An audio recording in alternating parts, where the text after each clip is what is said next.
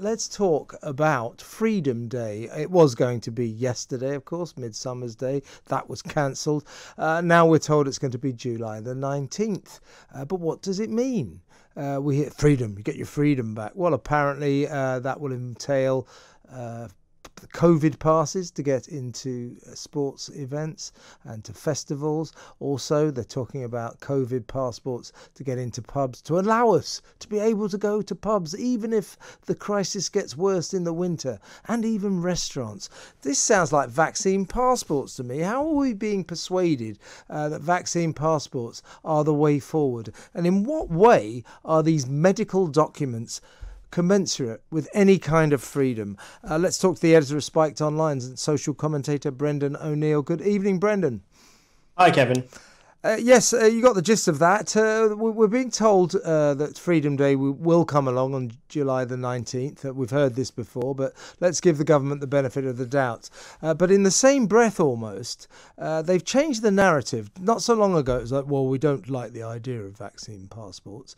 now they're saying, in order to facilitate a sizzling summer of sport, you will be able to go and watch your favourite football teams and cricket teams, but you'll have to have vaccine papers. Uh, same for we, we, even if there's a surge in COVID through the winter, you will still be able to go to pubs. We hope by producing your medical papers. This isn't freedom, is it? Absolutely not. They're moving the goalposts all the time. One minute they're saying we won't have COVID passports, then they're saying, well, we might need them.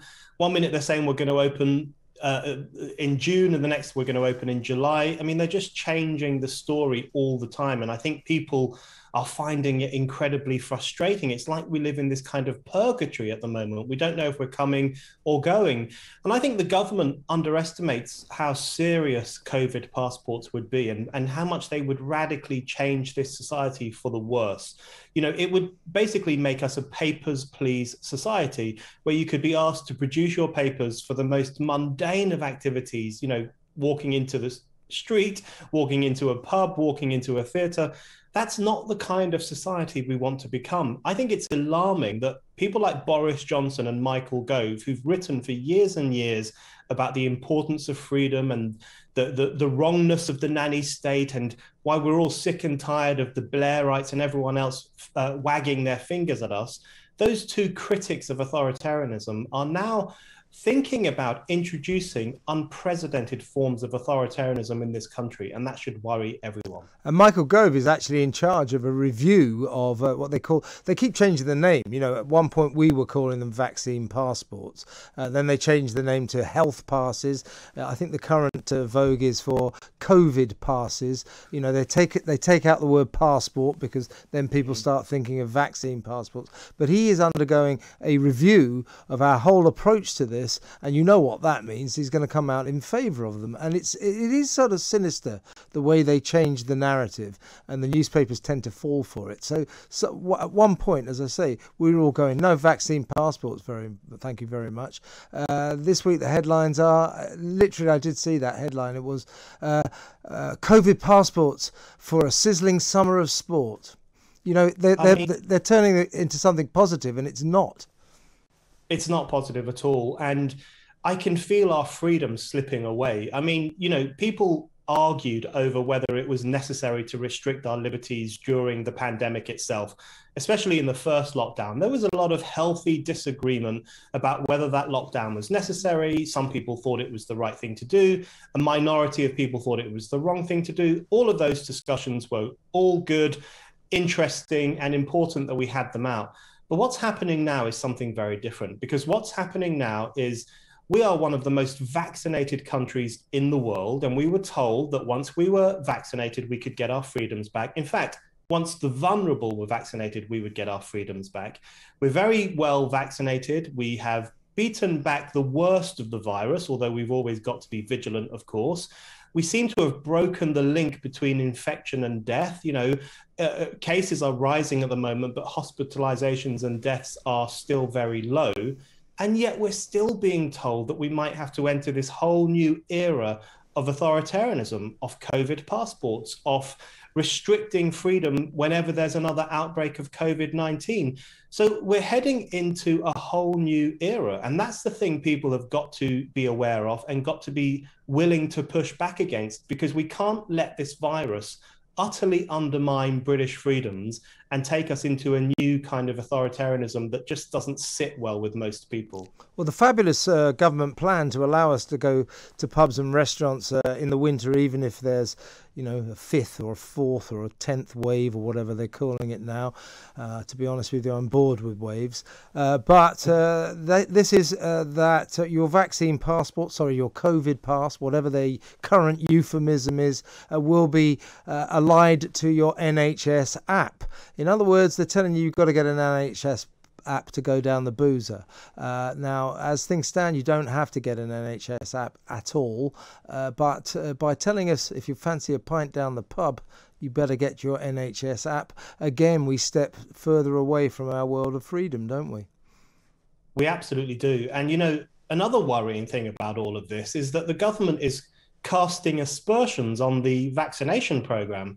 You know, do vaccines work or not? Uh, you know, do we have a herd immunity or not?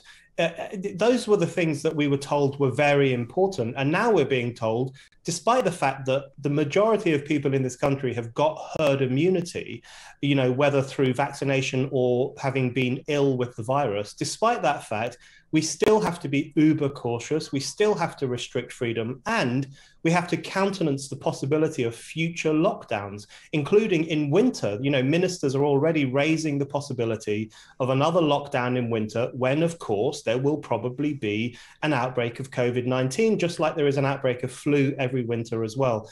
The question we have to ask ourselves is it really the government's job to stop people from getting ill?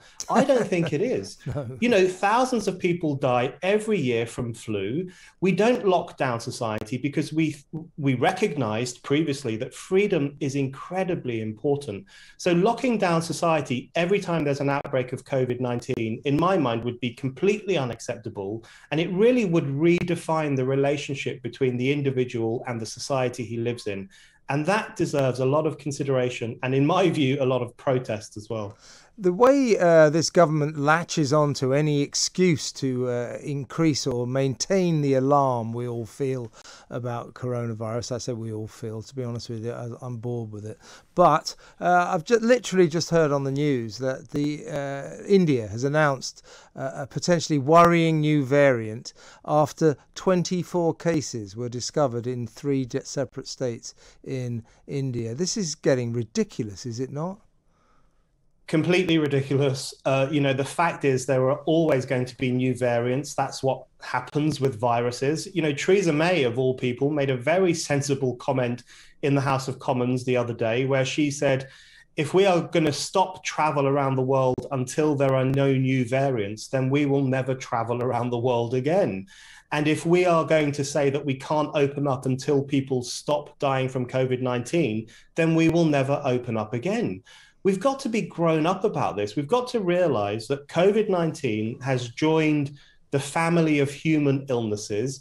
And thankfully, through human and scientific endeavor, we have tamed it to a large extent. We've made sure that it doesn't kill as many people in the future as it has done over the past year.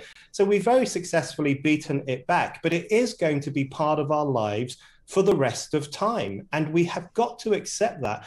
The unwillingness of government officials to accept that truth and to encourage people to live with that reality, that's really reckless because what they're essentially saying is our job in government is to protect you from every kind of risk. And that really does open up the door to an endless kind of authoritarianism where they could shut down society at the click of their fingers if they think there's a risk around the corner. Uh, the thing is, the government's also sort of, uh, you're quite right, it seems to uh, have taken on the role of uh, stopping us all getting even a little ill, but has also rather successfully turned itself into the anti death league insofar as the numbers of fatalities now from COVID are infinitesimal. And yet, this drama, this saga continues. what is going on in the mind of Boris and Sage and his cabinet? I would love to know. You know, the, according to the ONS, um, COVID is currently the 24th leading cause of death in this country. So it's way down the list and yet the whole of society is being reorganized around COVID 19. It makes no sense. And I think it is part of this. You, you know, you say they're the anti death league. We do have, we have arrived at a situation where the government thinks it can suspend economic life, suspend every single liberty, force people potentially to stay in their homes or to stay in their local areas or to stay in the country if there is any possibility that they will get ill and die. We have never had that situation before. We've always accepted that life is uh, life comes with risk. You risk having an accident, you risk getting sick, you risk being hurt in a relationship. Life is full of risk, and we recognize that the, those risks are a price worth paying for living in a free society, for living in an open society where people can mingle and can do what they want. But that's all changing. We're now saying essentially that it is it, that's not an acceptable price to pay and no level of risk is worth it. So we really do need to have a serious discussion about risk a serious discussion about the role of government and, and why it should be more limited than it currently is, and a serious discussion about the importance of everyday freedom. And until we do that, I fear that we're going to stagger from one lockdown to another. Uh, my definition of freedom is uh, walking down the street, seeing a pub, fancying a pint, walking in, going to the bar, ordering a pint, drinking it while standing there, and then maybe leaving the pub, no questions asked. That's freedom. If we don't get that, that is not traditional British freedom. I can't let you go, Brendan, without uh, asking you about today's report by the Education Select Committee at Parliament uh, about uh, uh white working class kids who turn out to be uh, the people who've been almost abandoned by a generation of right on school teachers who've been filling their minds with the concept of white privilege. These kids are at the bottom of the league table when it comes to educational standards. Only 16% of them are going to university. Uh, they are the worst casualties of a, an education system that teaches kids about unconscious bias, uh, critical race theory, and white privilege. Something's gone badly wrong here, hasn't it? It absolutely has. And I think this report has shattered the myth of white privilege. The idea of white privilege is a complete nonsense. The majority of white people are working class, they are not privileged, they struggle to make ends meet. And as this report makes clear, white working class kids are doing worse in school than every other social group. So something is going on here. And I think it's down to the fact that the, the woke elites who run the education system and who run a lot of politics as well they have a very disdainful attitude towards white working class communities. They see them as feckless and xenophobic. Brexiteers, and yeah.